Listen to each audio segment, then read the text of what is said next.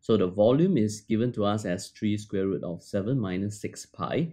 And volume is pi r square h, the height. Height is given to us as 2 plus square root of 7. So this is equal to 3 square root of 7 minus 6 pi.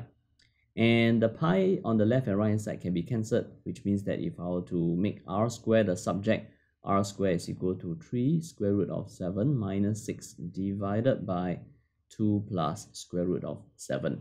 Let's rationalize this. So it will be 2 minus square root of 7 divided by 2 minus square root of 7 so that we can remove the surds from the denominator.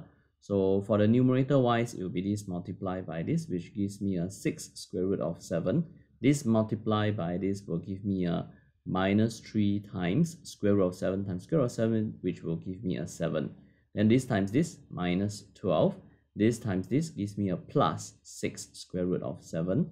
And this will be divided by a plus b, a minus b. It will be a squared minus b squared.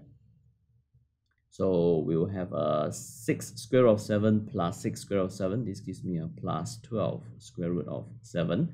And minus 21 minus 12. Minus 21 minus 12 gives me a minus 33. So this divided by 4 minus 7 gives me a minus 3. So r squared is going to be equal to 11 minus 4 square root of 7.